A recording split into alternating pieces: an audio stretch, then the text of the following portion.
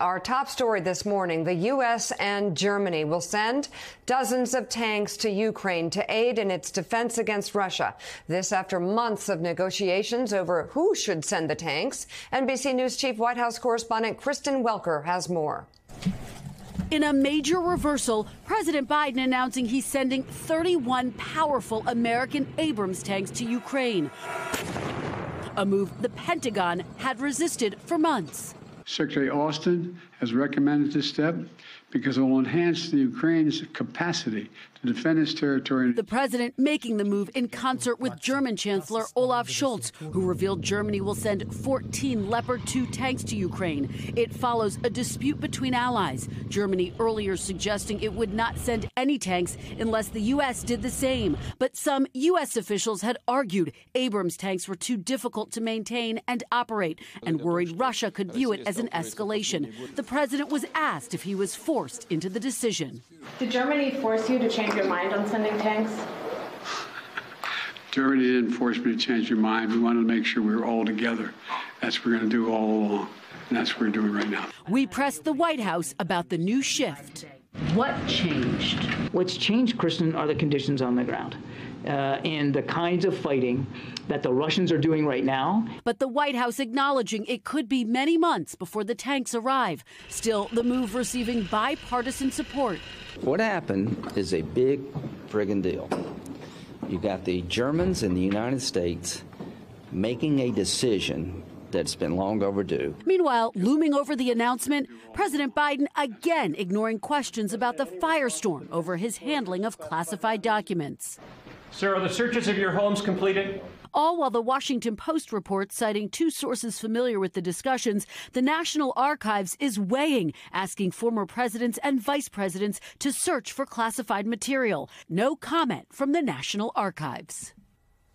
All right, let's bring in Principal Deputy National Security Advisor Jon Finer, also with us, former U.S. Senator, now on NBC News and MSNBC political analyst Claire McCaskill. She was a member of the Senate Armed Services Committee. Good to have you both. Jon Finer, I'll start with you. What was behind the decision? And also, what can be done in the meantime, given that these tanks will not be processed, prepared, and, and shipped for quite some time? Oh, well, it's a good question. There were really two main factors behind the decision uh, to provide the, the uh, Abrams tanks alongside our German partners.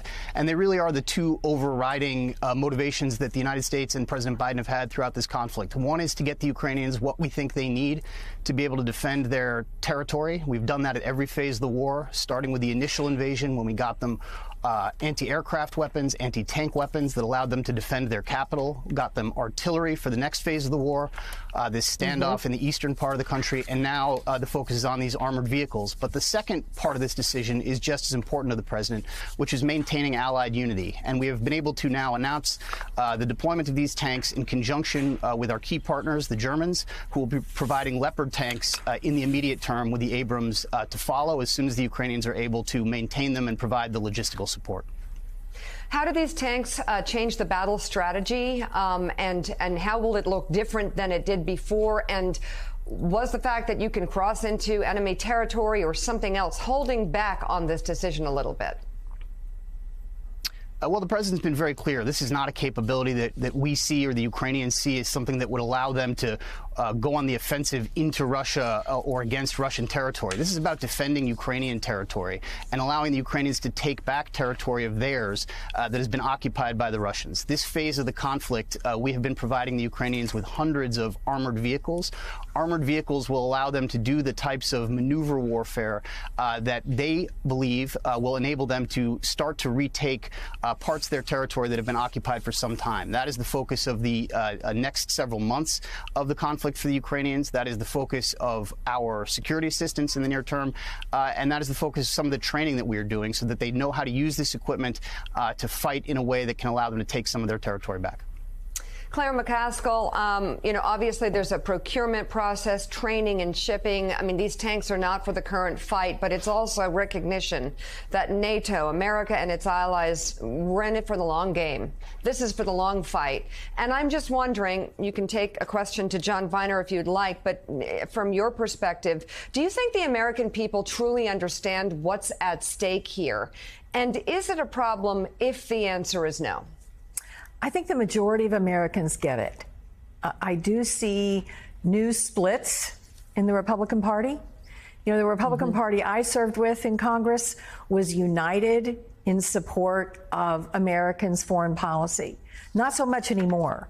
There's a lot of Republicans that do not want to give one more dime to Ukraine. Mm-hmm. So, what mm-hmm. really this decision reflects is the ability of Biden and other leaders of democratic nations keeping it together. I don't care if German if Germany was leveraging to try to make sure that US followed with tanks or not. What I care about is we manage to get everybody on the same page again.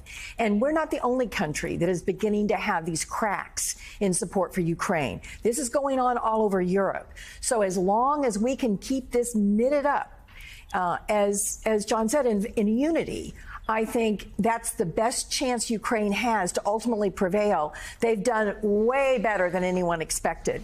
Now it's going to be the Republican Party that may have this fall apart if they use defense funding as part of their agenda for trying to cut spending. So, Jon, uh, as you look at this war now, uh, a lot of people viewed this move yesterday with the Abrams tanks in conjunction with Germany and the UK sending Challenger tanks as well as a commitment to something longer term in Ukraine uh, against the Russian army. Have you sort of conceded at this point, or are you just facing the reality that, yes, this is going to go on for a while, as much as you'd like to see it end overnight with some kind of a, a deal and, and Putin leaving, that this is going to go on for many, many months, perhaps into years? So I think there are two important points here. One is uh, to echo what Senator McCaskill just said.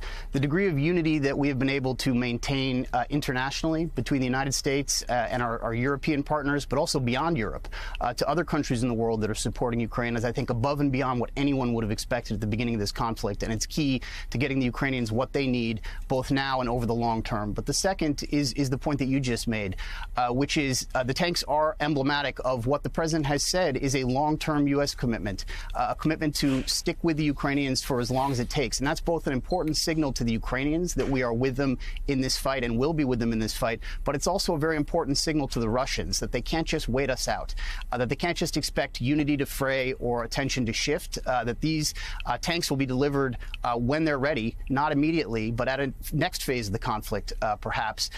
and over the long haul, the United States is going to continue to do this with the Ukrainians as long as their territory needs to be defended. Hey, Jon, good morning. Jonathan Lemire. At each different phase of this war, Ukraine's asks for weapons and equipment has changed as the conflict has changed. And understandably, President Zelensky is looking to get everything he can to try to push Russia out every inch of their country. No sooner did these tanks get committed yesterday, and certainly Kiev welcomed them with a thank you. The asks have already started for fighter jets, that that's what Ukraine thinks they need next. Is that something the United States is willing to consider?